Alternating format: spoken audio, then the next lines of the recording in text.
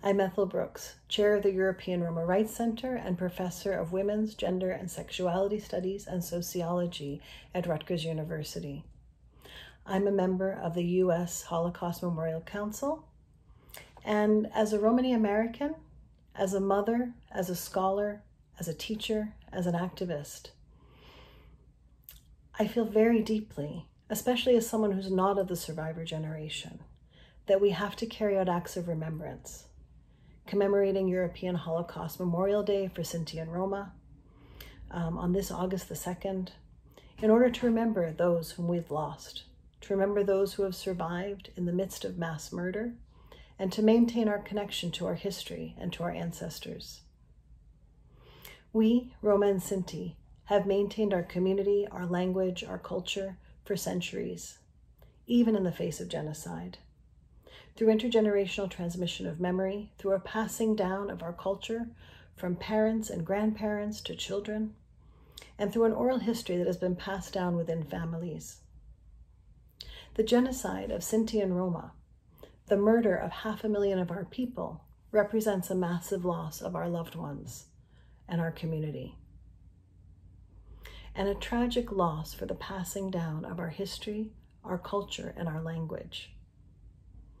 As with our centuries of survival, we have maintained our collective memory and our history and our sense of belonging, even in the face of this loss. But the current moment with the passing of the survivor generation, we as a community face another loss. Sitting down with a survivor or running into a survivor on the street and learning the lessons of the Holocaust, of the murder and the survival of Roma and Sinti is not as possible as it was even just a few years ago. And this year, our grandfather, Holocaust survivor Raymond Gurême, passed away at the age of 94. We had looked to him for our history, for our stories of loss, of survival, for lessons about the Holocaust. And we had also looked to him as an example of resistance throughout his life. After twice escaping internment, Raymond, while in hiding, would bring food to his family, who were still in the camps, allowing them to survive. He joined the French resistance as soon as he was able, and after World War II married Pauline, found his parents, found his other surviving family members, and continued to work, to live, and to fight for the recognition of his status as survivor, which he received in 2009. He also continued to resist anti Romani racism wherever he saw it.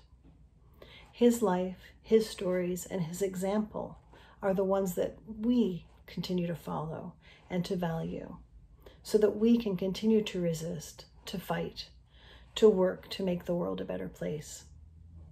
We remember Raymond Gurême. We remember the victims of the Holocaust.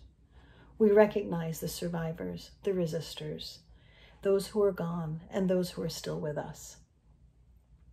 This year, Hungary, for example, has seen the rise of violent anti-Roma protests. We have seen growing violence against Roma and Sinti across Europe, increased discrimination, segregation, assaults, police brutality, and evictions.